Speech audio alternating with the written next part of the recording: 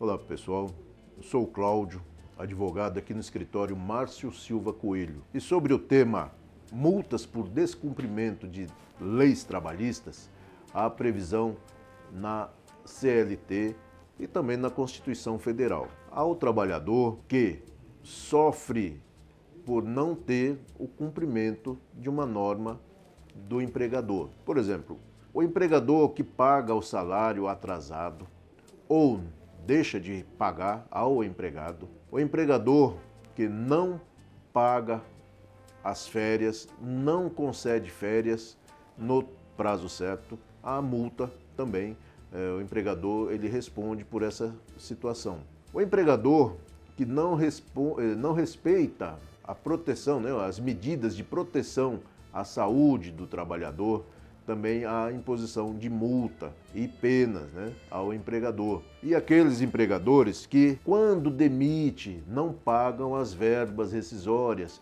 há também aquela multa que não pagou dentro do prazo estipulado em lei e não pagou todas as verbas, há uma multa. E ainda, quando a empresa ela não efetua o registro na carteira, as anotações necessárias, de alterações de salário, férias, enfim, há também essa penalidade prevista em lei.